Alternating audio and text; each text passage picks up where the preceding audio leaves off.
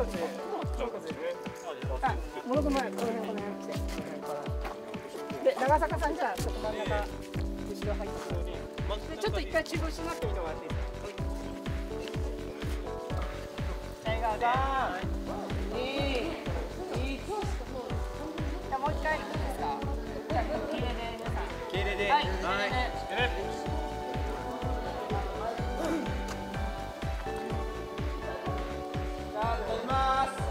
は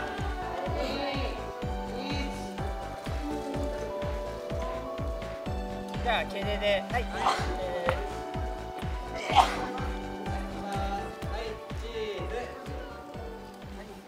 いや皆さんお疲れ様でした。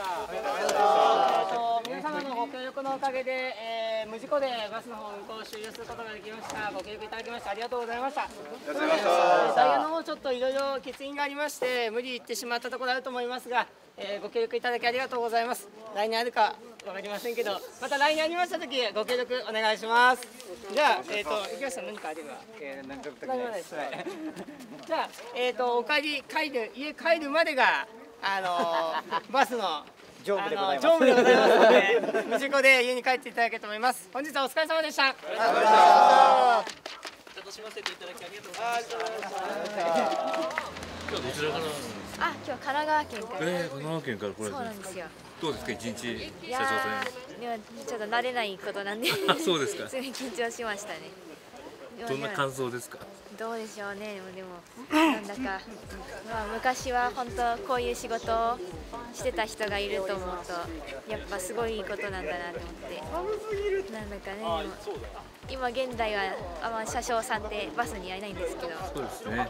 まあもしいたらやっぱこんな感じでそれはそれでいいのかななんて思いますねなるほど。ありがとうございました。はいありがとうございますちなみに京都どれから来られたんですか？神奈川から来ました。一緒に。いや結構バラバラですね皆さん。ほぼから来られたんですね。はい、どうですか？今日一日やってみて。バスガイドさん。そうですね普段やらないことなので、ちょっとドキドキしたんですけど。どんな感じ？楽しかったです。そうですか。すみませんありがとうございました。お疲れ様です。すみません。はい。